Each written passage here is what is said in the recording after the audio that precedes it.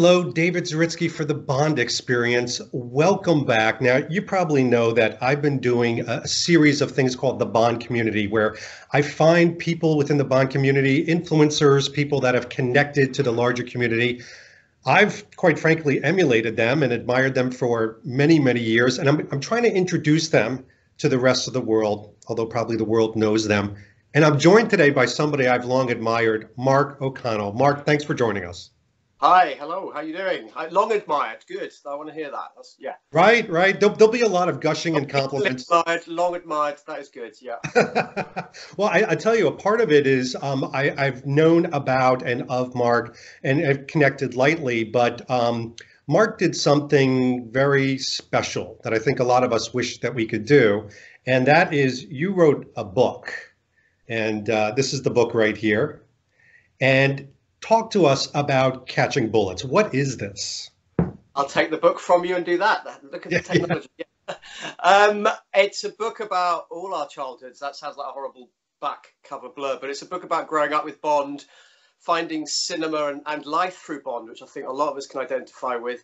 But it's also there's a backdrop that Bond was in my family before, well, before I was, and uh, my grandfather worked with the Broccoli family for well over 30 years, and names like Roger and Barbara and Pinewood were always sort of touted, and I could always overhear them, and I wasn't quite sure why. Then my father took me to see Octopussy, June 1983. I wanted to see Return of the Jedi. I kicked off and had quite a sort of meltdown in the, the cinema lobby. Um, but then I just fell in love with this man called Roger Moore and James Bond. So, so it's a book about all of our Bond's childhoods and our Bond adulthoods as well. Yeah, and and that's one of the things. I mean, I I was hoping, and and you you fulfilled that hope that it wasn't, and it's not to put these down, but I was hoping it wasn't just another book giving me a synopsis of every movie. And and they're they're out there, and some get very detailed and very behind the scenes of the movies, which I appreciate. But to me, this was very different because, and I think I reached out to you. It was almost like you watched my childhood and not in a creepy manner, but in the manner of like my childhood was about finding artifacts. You know, I would watch a Star Wars film and I'd, I'd find a figure at J.C. Penney's and suddenly I captured a moment of that film. And same with James Bond, I would I would get a sticker, a Moonraker sticker. And when I read that you on, on the playground found these stickers and, and pogs and things like that, and it was finding like the holy grail for you. And it hmm. really set you on a particular path, didn't it? Yeah, yeah. Well, I was lucky. I mean, yes, I had all that. The uh, I remember View to a Kill, sort of in the run up to the June release of that in 1985 over here. There was crisp packets where if you collected enough of the tokens that you had to cut out the greasy sort of uh, chip packet and uh, you could send off and get a View to a Kill posters. So that was like, I was literally going into hedges and rivers and streams trying to look for old uh, potato chip packets. But I was slightly lucky. Well, I was very lucky. I would get fed this stuff from my grandfather worked for Eon, so I would get fed like uh, the teaser posters, the uh, teaser albums. And I've got one or two vinyl teasers, which are like sort of industry tasters. Um, and I, so I've got all that stuff as well. And I would, I would sit in awe. I remember my grandfather got me the View to Kill uh, Paris poster, the, the purple teaser, and it, it was above my bed for at least 15 years. I remember looking at it, and I've actually never been to Paris properly, which is horrific because it is sort of the nearest city to where I am in London here. Um, and I've always wanted to go to those little streets and those little green bits on the uh, posters. So I had I had the same things, but they would sometimes come from different sources and maybe maybe a bit earlier than others. But that wonder was still there, and my bedroom became like this Sistine Chapel of broccoli frescoes, I would say, with all these Roger Moore, Maud Adams, For Eyes Only artwork. Yeah, I think it's interesting when I was reading it. Um, uh, I'm in marketing. So in marketing, nostalgia is such an incredible thing because it has an emotional base. You can smell nostalgia, you could taste it, you can obviously see it. And one of the things I noticed when I read the book is that there really is a tipping point for you when you went from, oh, you know, uh, grandfather, you know, works for this company that I, I get some posters and I love James Bond, to realizing the enormity of his connection and there, therefore your connection by proximity to Eon. What what was that like? It, do you know what? Right, I'm just just between us because no one else is seeing this. No. Uh, it hasn't really sunk in, and I, nor do I want it to. So I'm just sort of deeply appreciative of it. Uh, uh, Barbara particularly has been very kind and uh, a great sort of force and someone we um, connect with now and then, and I, I love her for that. So it, uh, it's, but it hasn't quite sunk in. It, it, it, didn't. It certainly didn't sink in when I saw um, Octopussy in June '83, and my dad tried to explain that my grandfather was involved in it. And I remember looking for his name on the opening titles, but they weren't there. So I was sort of said, "You're lying. That's not true." But, um, but possibly when we went to the uh, when when I went to the first crew Eon screening of The Living Daylights, which was just before the uh, royal premiere here in London at Leicester Square, I remember just seeing this basically the size of the cinema if that made sense. The, the, yeah. you know, the Odeon Leicester Square is a massive auditorium, a great cathedral of movies, and I was just like, okay, this is big. And also seeing the tickets hanging out of my dad's uh, dashboard on his car, and that suddenly made me realise. So it was, it was weird little side things like right. that. Hmm. So and then also when I was an adult, also just seeing pictures. Even now, I've got the the James Bond Archives book up there, and I was I was actually in Berlin just flicking through it for some reason, and I just saw a picture of my grandfather, and that's those sort of moments like, ah, okay, right, these are part of you know the Bond family photos, and that's nice that he's in there. Um, so it's sort of it hasn't fully sunk in. I don't want it to. Yeah. Um, but yeah, just weird little moments just caught me at the scale of this. I'm going to edit that whole thing out. Nobody saw this. No, of course we're going to leave it in. Yeah. We're going to be a glutton for punishment. Yeah. Uh, but but there was, you know, I, I can't help but think, and I don't know if the book answered this. So I I personally wanted to ask you this. Mm. It, clearly, this was a passion project. What uh, what some people don't realize is that you are a comedy writer. You're a writer for a living. That's how you you know pay for the paint and the couch in back of you. But, paint it's new yellow paint. Yeah. You know, I could tell, and, and thank you for doing that for us. We're going to all appreciate that. Yeah. I'm dying fumes here for this. Look great. But, but, there had to be some moment before 2012 uh, when the book was released where you said, you know, something, there's an itch. Excuse the yeah. pun, but I need to scratch it, and the only way to scratch it is to write this book. What what was that like? I know what that itch was, and it, it came from fandom. It came from being part of a Bond I was part of one or two forums online in that early era of, of online fandom, and it, you know, guess what? It was as divisive and as angry and as brilliantly informed and misinformed as we see it now. Uh, but I was writing little sort of reviews because one of the things I do in Catching Bullets is I reappraise the movies. I want to re reframe them, revisit them. Um, I like you say, I don't want it to be a list of gadgets, and we all know that that film's rubbish and that that actress is bad. No, no, no. I want to I want to say, is it really that bad? You know, they are only James Bond films. They're not meant to be big political uh, statements. And I was doing these reviews online and getting quite good traffic and hit rates, or uh, you know, uh, for the time. And I, I stupidly thought, wow, if everyone paid a dollar or fifty pence, I could be laughing here. It doesn't work like that, sadly. But it just made me think maybe there's a book here, and a few people nudged and suggested there is a book, definitely. And then I, I resisted from the, you know, the the the uh, the broccoli in the room. Literally, I didn't want to pull in my grandfather and all of that because I felt you know he never betrayed any confidences when he worked for Cubby and Eon. So I didn't want to be the first O'Connell to sort of confuse and uh, make Eon angry. Um, so I just thought I'm going to do it, and um, I wanted to do a book that looked at fandom from the well, from all our fandoms, there's very few of us uh, who are below 40 who saw these movies in the order they've come out. I mean, there are probably great new fans now that have bought their new box sets and are doing it diligently, and that's great. And I, I would love to see those films in that order. But I didn't. I came to them in different orders. I started with Octopussy, then did uh, uh, View to Kill, Moonraker, then Thunderball. It was all back and forth based on right. what was being broadcast on British TV at the time. So I thought actually because we have books about the making of Bond films. We have uh, sure. Books looking at all of that, and I want I didn't want to do a biography of making Bond films. I wanted to do a biography of of watching them. Yeah, yeah. Well, that's what I loved about it is the moments, and and for those who haven't picked it up, I think you'll enjoy it because you really were very descriptive in the moments of everything around you. For example, when you were um, in a religious class and you're desperately trying to close everything off so you can get back to a particular advert or particular show, or or even when you were on a class trip and finding that special artifact of of just a simple guy that focused on Roger Moore. It really is the hunt, and it was part of like your passion moving it forward. Yeah, yeah, no, absolutely, yeah. And I, I've got a weird memory. I'm an only child, so maybe I just took in more because it was just me. I don't know. Um, so I do sort of look at. I do remember too much, way too much, and also you know the internet and calendars are our friend, and you can piece it together and work it out. Um, but yeah, I, I had that. I remember going on a Cub Scout trip where we were all camping, and it got really rained out. It was like horrific British weather, and um, they gave us a treat of going into a local uh, uh, high street and shopping mall to buy what we wanted. And I was just looking for the local TV guide because I knew it had Roger Moore on the cover. And yeah, so all these other Cub Scouts are buying footballs and tennis rackets and sports shirts, and I'm buying a TV guide with Roger Moore on it. And I have no problem with that. I loved it. And I'm not going to tell um, the viewers out there how that particular story ends, but it's such a great ending of mm. how you do finally get it. But but let's not tell them; they have to read the book yeah. to do that.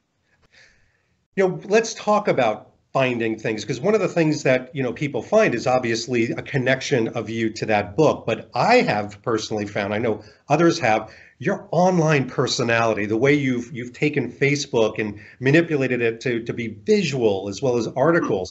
What what did the what was the push to kind of say all right i've got to be kind of a, a social media connection as well yeah um i i i I like talking about cinema. I like sharing thoughts about cinema and sharing different thoughts. And some of those thoughts can be visual. Bond is such a, a visual, uh, you know, juggernaut, whether it's the poster or the costumes or the title designs or, or, or the look of a location. Everyone's clamoring for images and visuals. So I often, I'm also a frustrated movie poster designer. I, if I'm in the next life, I'm coming back as um, Drew Struzan because uh, I've had enough of this itch that I keep trying to scratch. But I'm just trying to make just different visuals because also for me as a writer, you you're trying to create stuff that's just different. And yes. there's any of us can share a picture of Jane Seymour, you know, tied up in Live and Let Die, or or Roger Moore, you know, in a safari suit, and we do, and it's great that we do. But I just wanted to try and find some new content, often linked to the book. It, you know, it's not always. I don't do it as a selling tool. It's just that that's my sort of. I call myself the bullet catcher. That's my um, that's my persona non grata, I suppose. Yeah, absolutely. It's interesting you say that. Um, I don't hold it against people, for example, on Instagram, when people kind of repost the same Daniel Craig pictures over and over. Um, and you know what? They have a lot of followers because people just like to see that. But when I see somebody with unique content, I immediately engage with them. So I think people are in social media analyzing the type of engagement versus mm-hmm. that quick hit like of, you know, uh, mm. dopamine that goes on in your head. Mm. Yeah, yeah, and I yeah, and I I'm a fan as well. I enjoy doing it, and it's such a visual medium on you know social media, and, and people do respond to visuals more. Um, so that's sort of what I do. But I also just you know, I'm a fan and I celebrate Bond. For me, Bond is a good thing. It's Bond is my box of chocolates or my beer at the end of the day. It's it's well, it, I always say it's like my home and sense of family as well. I'm always yeah. glad to come home. Um, so I don't want to just sit and rant and, and you know some fans get really upset and and crazed about you know delays or this film's not coming out or that they didn't know what they were doing there. I'm like, let's just celebrate it. You know, there's yeah. there's no one sets out to make a bad film. There's never been a wholly bad Bond movie. Um, so let's just celebrate it and be positive because right now, you know, in 2019, it's quite an unpositive world. So that's that's also what I try. I just try and give it a spin of calm down, relax. This is fine. It's cinema. Cinema does this. Bond is your home. And sometimes when you invite people into your home for a party, some people show up that you didn't quite expect, uh, positive and negative. Um, I want to ask you two questions, and there I'm going to ask the negative side of it first, but I swear to God, I'm going to uh, lead with it uh, with a positive. Let's talk about the audience. Let's talk about the Bond community what are those things that absolutely irritate you in the Bond community? Oh, how long have we got? No, that's not. don't, wind up some of your audiences. Um, impatience, uh, a lack of just uh, a lack of understanding of how art works. Not just movies and big mainstream movies, but you know, art takes time. Uh, some, you know, a Bond film takes time. If there's a delay, no one wanted that delay, but those delays are part of the process, part of the challenges to navigate. So perhaps fans' impatience, um, and with that impatience comes a slight prickly uh, anger about certain personalities, certain contributors, certain creatives, and it's it's always so unfounded. One of the things that really bugs me at the moment, this is just me personally. Obviously, I'm I'm always Team Eon, definitely. But one of the things is, oh, we've had delays with Bond because they've been making other films and other stage shows, and that's that's that's not the case. No, no, that everything that Eon have done with their um, with their independent movies of recent times and the new stuff coming up, it enhances Bond. It it feeds into it. You know, creatively. You know, um, making a movie or making anything like that is about collaborations. It's about partnership. Mm. So when you know Barbara's working with uh, Annette Bening or the same uh, costume designer on uh, Film Stars Don't Die in Liverpool, that is only benefiting Bond and that that the House of Bond. I, I call it it's like one of the sort of the House of Versace. I was called the House of Bond. So that that bugs me a bit. And also this assumption that we all know oh A, B, and C film. We all know they're terrible. I'm like no, no. Right. One of my favourite Bond films uh, is is a view to a kill for very personal reasons. My grandfather's sort of a not literally, but he's like a support character or a shadow in that film, and um, I, I can see its faults, but it's a great you know 80s movie, and people just assume it's terrible, and then they sort of look at you like, really? Um, so that bugs me, but that's fandom because we, we love our little lines in the sand, mm-hmm. and we can't cross the streams whether we're Ghostbusters or or Sean Connery fans. I like that. Um, all right, so let's flip the coin a little bit, what do you absolutely adore and love about the Bond community? That I can talk to you. You're in America. I'm in London. That we that there's this uh, oh, community. Hold on, we just froze again. Oh, sorry, yeah, sorry about that. We yeah, yeah. lost. All right, we're back. Okay, go ahead. Um, I I love the fact that we're just talking here and now. That's that's a great thing that the Bond fan, the Bond community and the fandom, uh, you know, is en- enabled by um, social media. We can reach out and and share things across the globe. Um, that's what I like, and I like that. I do like the sense of shorthand. You can talk to a Bond fan, and you always have that slight embarrassment or slight awkwardness about, yeah, yeah, I quite like that really bad you know moment or I really like that song that no one else likes. And you realise there's someone else that really likes that song that no one else likes. So it's it's it's full of surprises, and I I, I actually think I've I've done another book recently looking at Spielberg and Star Wars, and I. I actually enjoy the Bond fan community a little more, perhaps because I've had longer associations with it. Yeah. Um, but I, I, I think with Bond, you probably have this with other franchises, but Bond, you can be into the costumes, the clothing, the lifestyle, the music, yeah. uh, the locations. People love doing the location hunting. Um, for me, it's just how does it work as a piece of cinema? What is it tapping into now, and what, what are its sort of references? And is it fun? And every Bond film has been so far.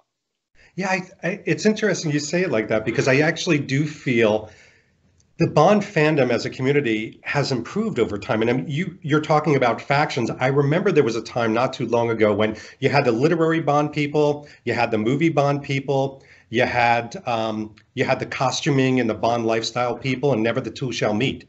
You know, there wasn't a lot of integration. Nowadays, I see more and more collaboration, uh, conversation. You know, jumping over the fence to each other in a very positive way. So I think hmm. it's moving in the right direction.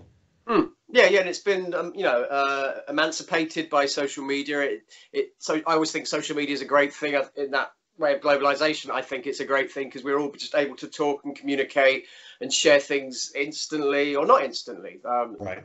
Yeah, I think it's all good.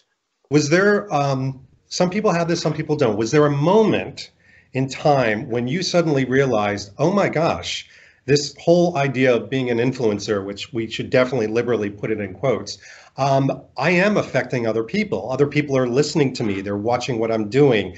I'm connecting with them. And I'm not saying it in a negative way, it could be very hmm. positive, but you are reaching a wider audience. Was there kind of a tipping point for that? Um, no, no, not at all. You, no, no, I, I um, how do you mean tipping points? That's maybe what I. Oh, uh, was there was there an event or something where you realize, oh my gosh, this isn't just for me and a small audience. This is really reaching far and wide globally. Yeah, when people take photos of my of watching skies on various beaches in Jamaica and Paris and France, I'm like, oh, okay. You sort of, even though you write a book, you have this naive assumption someone will buy it and some family people and maybe a film fan, but you forget, you know, it, anyone can buy it, and a lot of you know a lot of people have. So that's always slightly strange. And then you you do have that feeling of responsibility, like ah, was I a bit critical of that film or that moment? Uh, I hope I wasn't, and I've, I've apologised to a couple of people responsible for those moments, and they've always said, "No, no, you were you were actually rather kind." Well, oh, okay, right, wow. but yeah, yeah, yeah. I'm not going to say what it is. Um, yeah, well, it's not enough. I think you say that in the book too. So uh, yeah, yeah, not, not well hidden.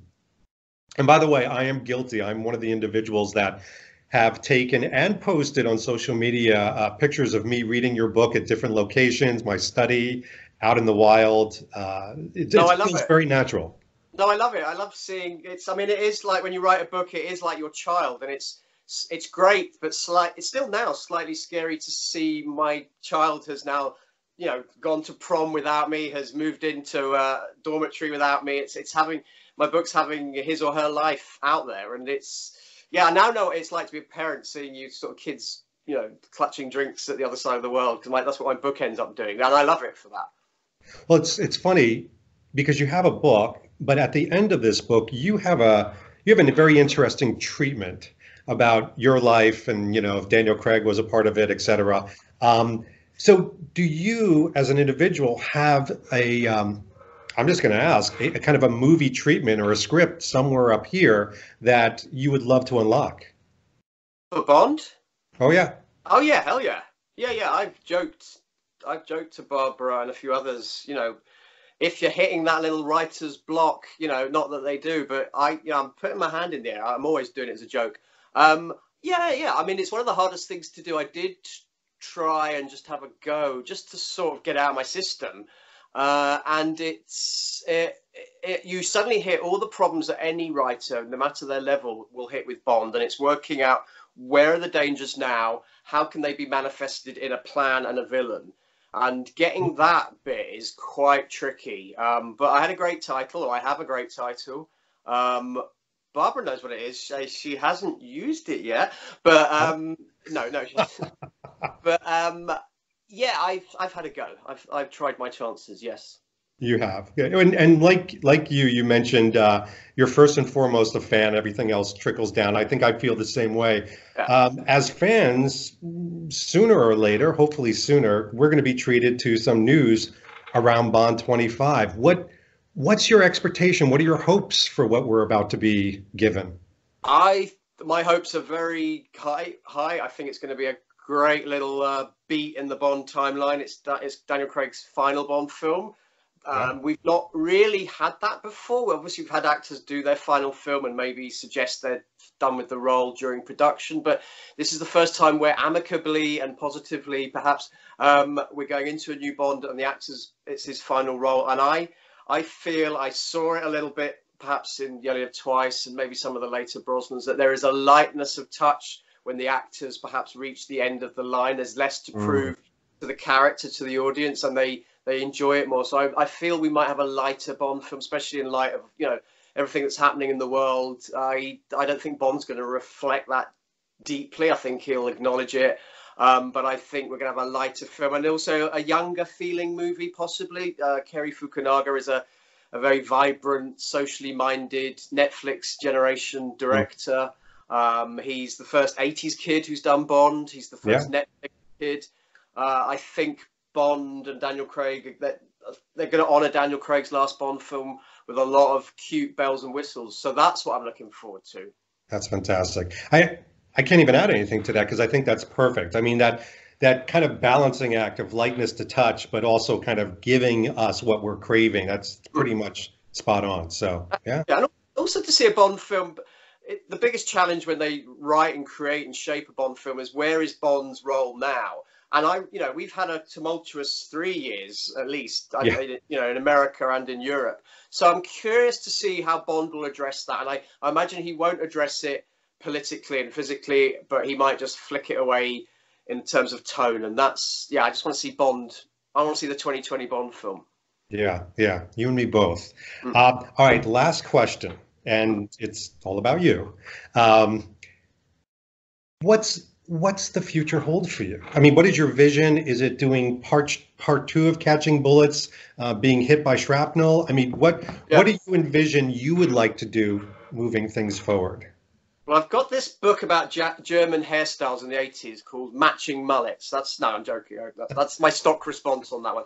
Um, well, I have done a prequel sequel to uh, Catching Bullets, which is Watching oh. Skies, which is not about Bond, but it does answer a few what happened next in terms of with Roger Moore and Maud Adams, because the whole Catching Bullets has got this whole through line about pretending to be in love with Maud Adams for different reasons, then slightly being in love with her because she's such a, a cracking, stunning uh, person. And after the book came out, a few sort of wish wishes were granted, and we had, I ended up having a great time with Maud. And um, yeah, I so so there's so I have sort of addressed that, but there's I'd like I think there's another Bond book in my mind. Uh, once works through, I'd also like to do. In fact, I'm working on something now, which is a a third part of my cinema trilogy, but not what anyone would expect. It's not. It's not. Um. Yeah, it's not in the mold of the last two. That's fantastic. I, well, I'm looking forward to it. Seriously, I, oh, I said you. when you and I first started talking about this on the phone and even through email and other lovely channels um, that I was a fan. I was a follower, and I, will tell you, if if people are enthralled by this conversation, it's one thing to connect with the book, but I mean, you've got you're on Instagram. You're you're Mark O'Connell writer. I mean, that's literally what it what it's called. Yeah. And then obviously uh, Facebook, uh, Catching Bullets, uh, Memoirs of a Bond Fan as well. Are there any other channels or outlets that people can connect with you? Um, I'm on MySpace. That's a new thing. I'm getting on MySpace now. No, um, no, uh, just Twitter, Facebook, Tumblr Tumblr sometimes, Pinterest, all the slightly distant cousin ones that we don't invite round anymore when we do our social media bits. But I'm yeah, I'm on the the usual corridors of social media. Fantastic, Mark. I cannot thank you for the time today. Uh, this has been good. I know that we're uh, we're a little split apart, literally, um, right now, but I'm hoping that our paths cross quite a few times this coming year. Yeah, who knows? Who knows what uh, what missions will end up we'll be jumping out the same airplanes, I'm sure, with, without parachutes. Exactly, exactly. Well, thank you so much. Uh, this has been David Zaritsky for the Bond Experience, and we'll see you all very soon. Take care. Thanks for watching this episode. If you want to be up on the latest from the Bond experience, just click on this subscribe and subscribe to our channel. You're going to get all the latest and greatest information plus some exclusive content. And by the way, speaking of content, here's something especially for you just because we know you. Talk to you soon.